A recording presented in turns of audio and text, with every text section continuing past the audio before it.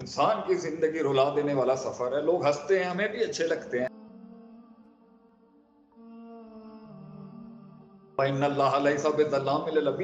God is not in just with people अल्लाह थोड़ी लोगों के साथ जो है वो नजायज करेगा कभी। अल्लाह क्यों जुल्म करेगा किसी के साथ? वो तो सरापा रहे लेकिन इस आयत से जो है मेरा सीना हमेशा ठंडा हो जाता है। कि तू तो जानता है ना। तू तो इन सात आसमानों पर जानता है ना। कि हम जिससे गुजर रहे हैं। तू तो समझता है ना, एक माँ के दुख को तो तू समझ सकता है ना। ये बेवफाइयों को तो तू समझ सकता है ना। ये मेरा नफ्स जो मुझे बर्बाद करने पे लगा, भाई, तू तो समझ सकता है ना। कि अल्लाह कहता है कुरान में वलकत खलक नल इंसान दाम और कद अरबी में कसम के बिल मुकाबिल होता है। हम जानते हैं इंसान हमने तुझे पैदा किया, हमने बनाया। वह नालमुमा ही नफ्स। हम जानते हैं तेरा नफ्स तेरे साथ कैसी कैसी गुलाटियाँ मारता है, कैसे कैसे तुझे बस बसे देगा, कैसी गेमें खेलता है। अल्लाह कहता है, मैं जानता हूँ हम शमाइल कि उसने चैलेंज किया था अल्लाह को कि मैं राइट लेफ़्ट फ्रंट बैक से सीधे बाएँ, आगे, पीछे से आके बताऊँगा कि भला तजदू अक्सर हम शाकरीन, के इतने शर्फ और जरफ के लायक नहीं था। तूने ऐसे मकाम दे दिया मेरे वो अलहदा लगा हुआ है। नफ्स अलहदा लगी हुई और ये दुनिया कायनात में सबसे पहला जुर्म हसद था, जो तकबर में बना। जो उसने कहा, ना खैर मिन हूँ खलकतनी मिन नार खलक तो मिन तीन तो वो हसद जो उन आसमानों से लेके आई नीचे इबलीस को तो इस दुनिया में हसद नहीं होगी। फिर हसद है बुगज है, कीना है। और फिर इससे हट के इंसान को अल्लाह ताला ने मसाइब देने होते हैं, उसके पीछे कुछ हिकमत है। तो मेरी पहली बात आपको यही है सबको, मेरे, मेरी कौम बैठी है, मेरे लोग बैठे हैं। बड़ा इंसान की ज़िंदगी रुला देने वाला सफ़र है। लोग हँसते हैं, हमें भी अच्छे लगते हैं। लेकिन कड़वी उम्र में जब हमारे बच्चे भी आएँगे, हम उन्हें यही तरबियत करते हैं कि वो हमारे बड़े कहते थे कि पुत्र जदों तू वड्डा होएगा ना तेन चुप लग जाएगी। When you gonna grow up you gonna get quite और वाकई, ये चालीस के पास पास जैसे मैं पहुँच ही गया हूँ तकरीबन, और हम सब पहुँच रहे हैं अपने सफ़र के अख्ताम पर। वाकई, ये ज़िंदगी खामोश करा देती है इंसान। चुप करा देती है इंसान। और लोग बैठे हैं, सुन रहे होंगे लोग मुझे अभी भी, क्योंकि आप तमीज उतार के देखें तो छली होंगे वो पीछे से, कि किसी को लफ्जों ने मार दिया होगा, किसी को खंजरों ने मार दिया होगा, किसी को बेवफाइयों और गद्दारियों ने मार दिया होगा, और किसी को अपने आप ने मार दिया होगा।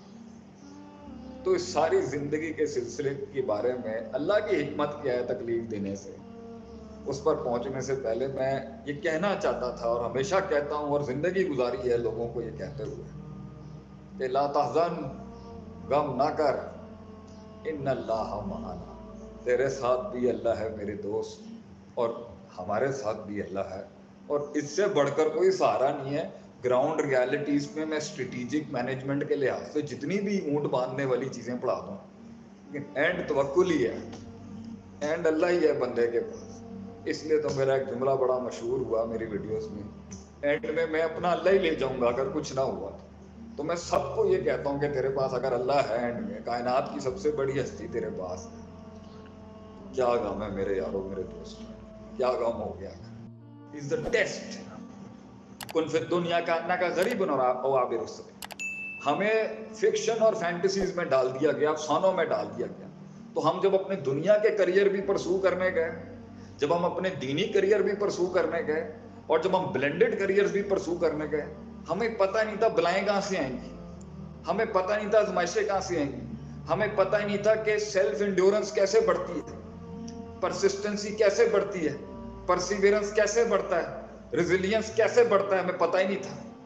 हमें धचके लगते रहे, हमें धचके लगते रहे आगे से एंड उसके लिहाज से अल्लाह आपका भला करे। वो धचकों के बाद फिर हम मजीद डिट्रैक्ट हो गए। फिर हम मजीद डिरेल्ड हो गए आगे से। तो पॉइंट यहाँ पर ये है कि अल्लाह ताला कुरान में कहता है, वला नबल वन्नकुम बिशैयम मिनल खौफी वल जुई, व नक्स मिनल अंबाली वल अनफुसी वसमरा अल्लाह कहता है कि मैं ज़रूर ज़रूर बिल ज़रूर जो है, वो तुझे आजमाऊँगा। क्यों आजमाऊँगा? खौफ के साथ आजमाऊँगा। भूख के साथ आजमाऊँगा। मैं तुझे माल में तंगी के साथ आजमाऊँगा माल की तंगी के साथ आजमाऊँगा और मौतों के साथ आजमाऊँगा ये होके रहना। It is something that is destined to happen it is something that will happen with you ये ना हुई? सोचिए बाबा शेर साबरीन, खुशखबरी उसको है जो सबर कर गया इसके हम लोगों को ये पहले से बचपन से बताना चाहिए कि ये मामला ज़िंदगी हम हसिब मन तदखुल जन्नता वलम्मा यातिकुम मसलुल लजीना खलौमिन कबलिकुम। क्या आप लोगों ने ये गुमान कर लिया है? कि आप लोगों ने ये गुमान कर लिया है कि जन्नत की टिकट ऐसे ही मिल जाएगी? वलम्मा यातिकुम मसलुल लजीना खलौमिन कबलिकुम। और आपके ऊपर वो आजमाइशें नहीं आएँगी जिस तरह आपसे कौम के पहले लोगों को आई। मसतहुमुल बासा वजर्रा वजुलजिलु अल्लाह कहता है, हमने आपसे पिछली कौमों को बास भेजा उनके ऊपर। तूफ़ान फेंक दिया हमने उनके ऊपर। बलाएँ भेजी उनके ऊपर। फिर जर्रा, जरर में मुबाद, इतने जरर और नुकसान उनको पहुँचे। वजुलजिलु जमीनें हिला दी हमने उन लोगों की। हत्ता यकूल रसूल वल्लजीन आमनु माहु।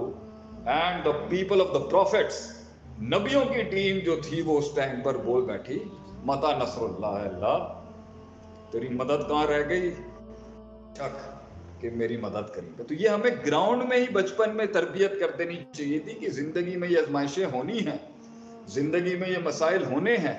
ज़िंदगी में ये मसले होने हैं, इनसे घबराना नहीं चाहिए इंसान। लेकिन जब हम तैयार ही नहीं रहते, हमें पता ही नहीं होता तो इसलिए पहला सदमा और झटका ज़्यादा लगता है और उसी में हम गैर शरी हरकत भी करते हैं और गैर अखलाकी हरकत भी कर जाते हैं। बहरहाल, ये टेस्ट तो होके रहेगा।